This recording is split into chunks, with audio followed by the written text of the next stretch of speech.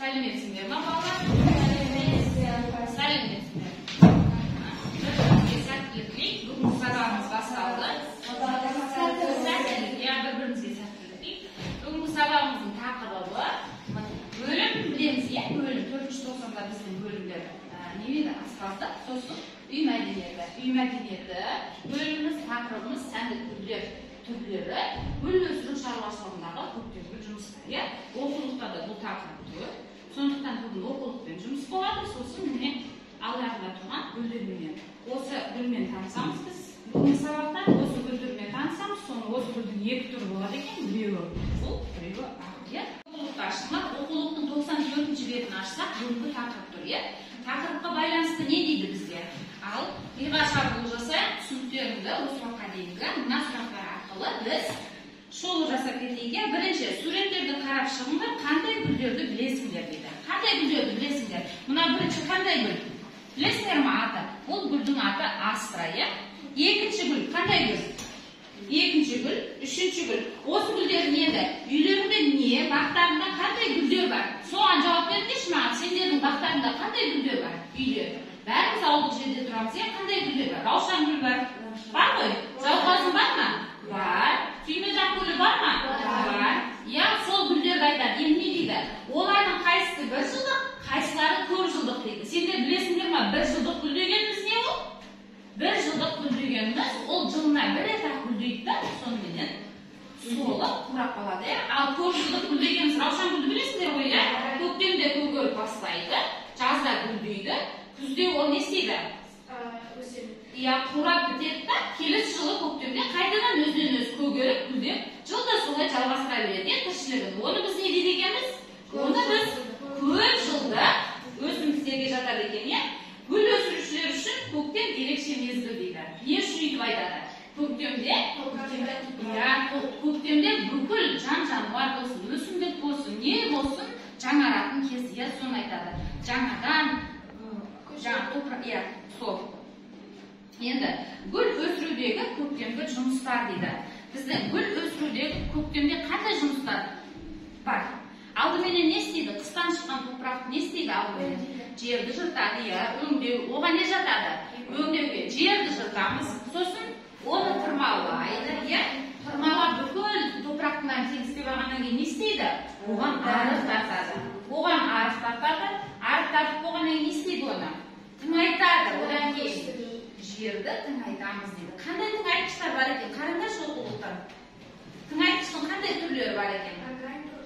Органикалық. Және химиялық тыңайтқыштар дейді. Біз үйде сендер өздерің мынандай бөлмеде гүлдерді өсіресіңдер ғой сонда қандай тыңайтқыштар саласыңдар сендер мынандай гүлдерге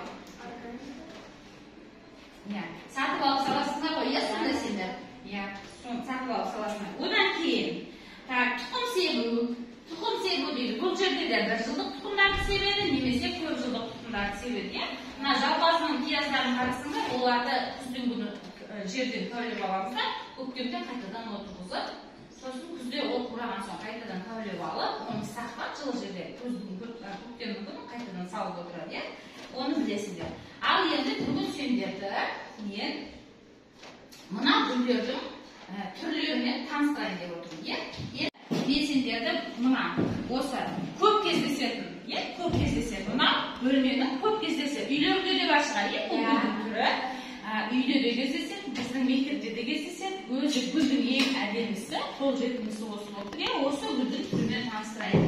Не дейді екен бұның аты? Антуриум немесе ер бақыты немесе әйел бақыты дейді иә?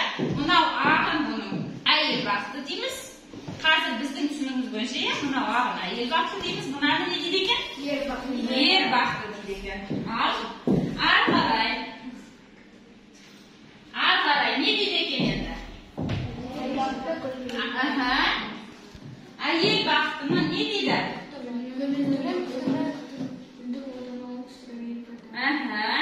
бұл гүл нағыз шаң сорғыш өсімдік екен ол ауаны жақсы тазартып техника сәулесінен келетін зиянды бәсеңдетеді дейді. Сондықтан бұл гүлді кеңсеге өсіруге кеңес беріледі. Кеңсе дегеніміз біздің мектепте бір түрі иә кеңсенің сондықтан бұл гүлді кеңсеге өсіруге кеңес беріледі а үй ішінде қонақ бөлмеге немесе жұмыс істейтін компьютер мен теледидар тұрған бөлмеге қойған дұрыс деді халық арасында әйел бақыты гүлі туралы түрлі әңгіме бар соның бірі бұл гүл көңіл күйдің өлшемі түсінікті иә ғой осы тақырыпқа байланысты гүлдерге байланысты мен сендерге екі сурет мына құрастырамыз. Қазір осы сурет бойынша құрастырамыз. Сосын топтың атын табасыңдар қандай өсімдік сендерге түскенін осы бойынша жұмыс жасаймыз иә мына осы топқа болсын ал жылдан жылдан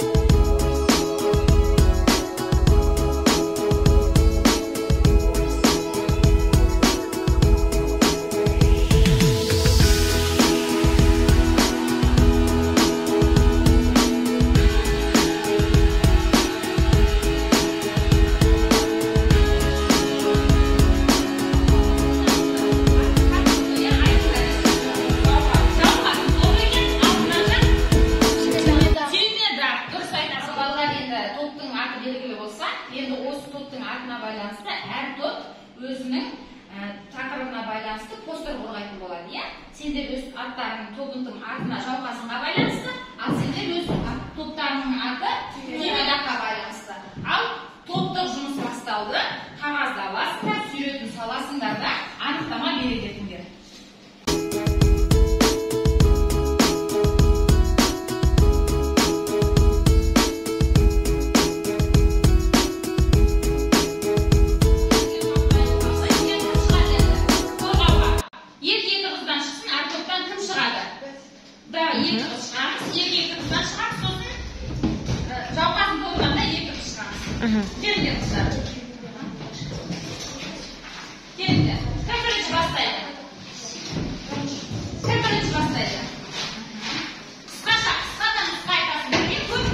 қажеті жоқ жауқазынға белгілі гүл ә, түймедаққа белгілі гүл иә ал кеттік бір екі үш.